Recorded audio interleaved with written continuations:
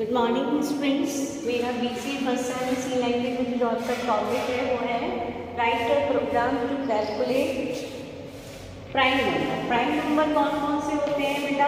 आप लोगों को पता होगा प्राइम नंबर वो नंबर होते हैं, या तो वो खुद से ही डिवाइड होते हैं, ठीक है? या वन से डिवाइड होते हैं, जैसे one two three five seven इस नंबर्स को हम किसी और डिजिट से डिवाइड नहीं कर सकते। या तो वन से जाएगा, या फिर और अपनी खुद की डिजिट से जाएगा। जैसे टू टू से ही जाएगा थ्री थ्री से ही जाएगा फाइव से जाएगा इसके अलावा किसी और डिजिट से डिवाइड नहीं होगा। तो इसको बोलते हैं प्राइम नंबर ठीक है? तो हम स्टार्ट करेंगे पहले। हमारा प्रोग्राम हम सबसे पहले प्रोग्राम को राइट हैं। सबसे पहले जाते हैं हम hash include S T D I dot hash का मतलब होता है हमारा प्री प्रोसेसर ठीक है? ये होता है हमारा प्रोसेसर और S T D I dot H ये होती है हमारी स्टैंडर्ड इनपुट आउटपुट फ़ाइल फिर hash input conio dot H मतलब हमारी जो हैश प्री प्रोसेसर है कोनियो डॉट एच है, हमारी कंसोल इनपुट आउटपुट फ़ाइल फिर हमने वॉइड में फ़ंक्शन लगाया, हमने ना? फिर इंट में हमने तीन वेरिएबल लिए. क्योंकि हमें प्राइम नंबर के लिए हम एक नंबर एंटर भी कराना पड़ेगा चेक करने के लिए तो हमने एन नंबर लिया आई उसके लिफ्टिंग के लिए होगा और आंसर मतलब जो भी वैल्यू आएगी वो किसी वेरिएबल में सेव करेंगे तो यहाँ पर हमने ले लिया वो ए एल एस तो आप इसके लिए कोई और वेरिएबल्स भी ले सकते हैं, ठीक है?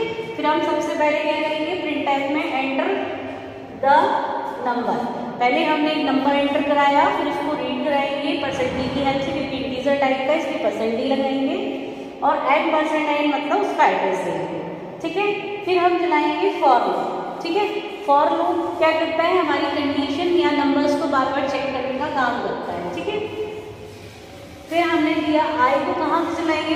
क्योंकि वन से तो ऑलरेडी सारी डिजिट डिवाइड हो जाती है तो हम टू से। ठीक है?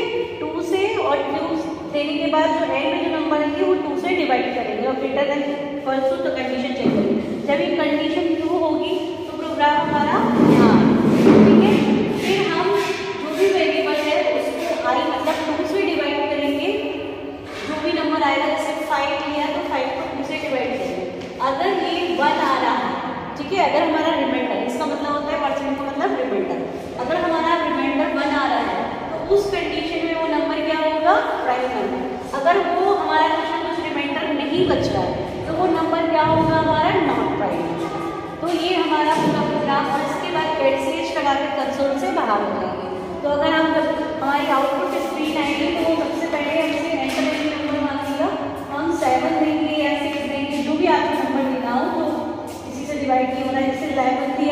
हम इलेवन नंबर देंगे और उसको ये कैलकुलेट करेगा टू से डिवाइड करेगा। ठीक है, अगर यहाँ पे रिमाइंडर वन बन रहा है तो मतलब क्या हुआ? जो हमारा आंसर में जो वैल्यू आई है वो नॉट इक्वल्स टू ज़ीरो है। इक्वल्स टू ज़ीरो नहीं हो रही है तो ये कंडीशन कहाँ स्विच कर जाएगी? एल्स वाली part number is prime number लिखा हुआ स्क्रीन पर आ जाएगा। ठीक है, आप लोगों को ये प्रोग्राम अच्छे से में आ जाएगा। ये क्योंकि फॉर लूप का स्पेशल प्रोग्राम है प्राइवेट नंबर का एग्ज़ाम में भी आता है, इसलिए आप इसको अच्छे से कर लीजिएगा। Thank you